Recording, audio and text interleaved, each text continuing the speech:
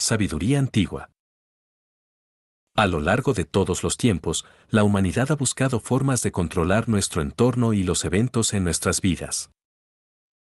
Cuando las mujeres y los hombres descubrimos que éramos inadecuados para la tarea, buscamos ayuda externa y gradualmente, a través de prueba y error, descubrimos que ciertos rituales, aceites, incienso y hierbas eran efectivos para la comodidad o los resultados. Además, nos pareció que estas herramientas afectaron el resultado de los eventos en nuestras vidas, aunque debido a la energía que estábamos prestando en la dirección del resultado deseado. A través de la experimentación, se descubrió que ciertas combinaciones de ingredientes y rituales funcionaban mejor para afectar el cambio y fueron adoptados y mejorados gradualmente. Se encontró que, en ocasiones, repetir los rituales varias veces parecía tener efectos más fuertes, y combinar ciertos colores dentro de los rituales potenció los efectos aún más. Estos rituales, y los usos de hierbas, aceites, incienso y velas, han llegado a agruparse en una categoría y llamado por cualquier número de nombres. Creemos que los términos herbolaria, herbolario y herbolario son mucho más precisos que cualquiera usado antes y, por lo tanto, estos son los términos que usaremos. Estos rituales están, y siempre han estado, relacionados con los aspectos básicos de la vida. Éxito, salud, suerte, dinero y amor, los numerosos problemas de la vida que pueden afectar el equilibrio de uno. Incluso si las fórmulas no trabajan para ti, al menos tendrás una vida espiritual más equilibrada y tu casa olerá mejor pero millones afirman resultados y beneficios del uso de hierbas y aceites. Mucha gente se adentra en el uso de estas fórmulas y rituales con una cantidad saludable de escepticismo que encuentran que se va desvaneciendo a medida que el número de coincidencias, los sucesos físicos que suceden durante y después de realizar un ritual específico, continúan creciendo más allá lo que permite la ley de promedios encontrará usando hierbas, aceites, incienso y velas un sistema religioso o espiritual extremadamente abierto. O adiciona su sistema actual, que se puede adaptar a las necesidades y estilos de vida personales. La clave para el éxito está en la práctica, la experimentación y el ejercicio de la propia voluntad para un fin específicamente deseado. La práctica de la herboristería, tal como la conocemos hoy, ha evolucionado hasta convertirse en una combinación del uso histórico antiguo y la aromaterapia moderna de la nueva era.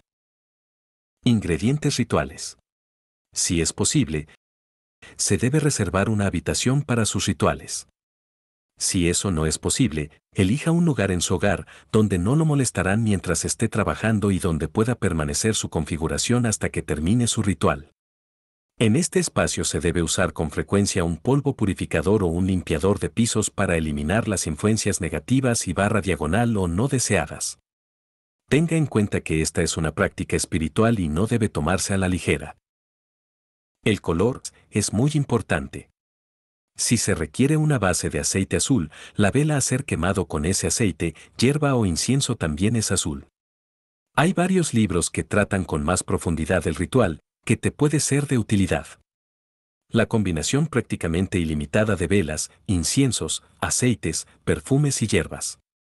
Debe animar al practicante a experimentar por sí mismo para mejorar la fuerza de varias técnicas rituales.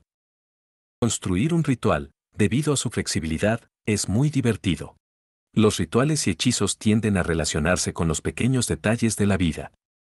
O grandes problemas, los rituales varían según el objetivo deseado. Sin embargo, siempre debemos recordar que la mayoría importante admonición, sin dañar a nadie, y siempre debemos pedir el mayor y mejor bien para todos los interesados. La siguiente es una lista de los ingredientes básicos utilizados en los rituales, algunos o todos los cuales se incluirán en todos los rituales. Velas. Aceites. Incienso. Polvos. Lavado de pisos. Balneario. Talismanes. Muñecos o marionetas. Bolsos con dijes, si bien no todos los rituales emplearán todos estos ingredientes, es útil tener una comprensión completa de lo que hace cada uno y por qué se usa cada uno. Aunque la selección adecuada de ingredientes lleva mucho tiempo para aprender, básicamente los principios son simples. La regla rectora es, siempre deletree su mensaje con la menor cantidad de ingredientes como sea posible, haciéndolo simple y al punto. En otras palabras, ¿por qué usar 20 velas y 15 aceites cuando una vela y un aceite funcionan igual de eficientemente? He visto a personas gastar literalmente cientos de dólares por un ritual fallido, mientras que otro individuo gastó 4 dólares y logró resultados espectaculares. Tú, a medida que progreses en tus estudios, descubrirás que tus rituales se vuelven cada vez más económicos porque siempre se prefiere la simplicidad de expresión a los hechizos elaborados. Aunque no pretendo implica que a veces no son necesarios procedimientos elaborados, ha sido mi experiencia práctica que, nueve veces de cada diez, un par de velas y uno o dos de aceite serán suficientes para manejar casi cualquier situación. La clave aquí, por supuesto, está en la cuidadosa selección de sus ingredientes simbólicos básicos. Así que echemos un vistazo a cada uno de los elementos básicos en su ritual para tratar de llegar a una comprensión de lo que cada uno hace y por qué se emplea cada uno. Lo básico, velas. Uno de los aspectos más conocidos de la herboristería es la quema de velas. Las velas representan el principio de fuego y voluntad en el ritual. Tu intención determina su color, azul o rosa para el amor, negro para la puesta a tierra, puede encender una vela marrón, verde o dorada si busca el éxito y la suerte. Como el mero encendido de una vela no es suficiente para la mayoría de las personas, la unción de la vela es una parte básica del ritual para uso general. Se utiliza el aceite de unción, o ban ban, cualquier número de aceites y combinaciones pueden ser usado, con el practicante determinando, a través de la fragancia, el resultado deseado del ritual. La tradición con respecto a la unción es que comienzas en el medio y unges la vela hasta la parte superior, luego regrese al medio para ungir hacia el fondo. El precepto detrás de esto es que tú eres el centro de la vela, enviando su energía tanto hacia arriba a los planos espirituales como hacia abajo al mundo físico. Tú estás creando un circuito completo, por así decirlo. Envías tus deseos a los cielos para que sean conocidos, con el objetivo siendo su materialización en los planos físicos. Ambos comandos vienen de ti.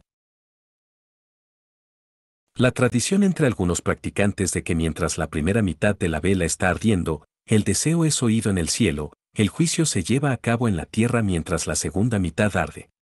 Muchas religiones practican la quema de velas, siendo la misma creencia que el humo y el calor de la vela lleva las oraciones de uno al mundo espiritual.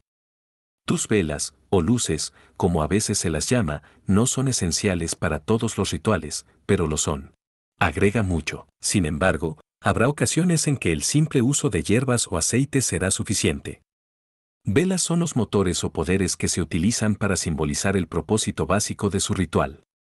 En otras palabras, si estás trabajando en un ritual de amor, estarás usando una vela roja o rosa, si estás trabajando un dinero o el éxito el ritual, seguramente se empleará una vela verde, si está trabajando en un ritual de descruce, entonces sin duda blanco o se utilizarán velas moradas. Intentar un ritual de descruce usando velas negras obviamente solo empeorar el problema, intentar un ritual de dinero usando velas rojas solo confundiría a los planos espirituales. Entonces, lo primero en cualquier ritual es determinar qué color o colores usarás. Veamos ahora lo que cada uno de los colores significa según las fuentes tradicionales. Hay un aspecto del color de las velas que suele malinterpretarse, si bien es cierto que el color de las velas, la vela siempre debe ser sólida, en lugar de una vela blanca cubierta de color, es perfectamente aceptable. Use un recipiente de vidrio coloreado con una vela blanca. De hecho, la mayoría de las mejores velas de 7 días no están disponibles en colores.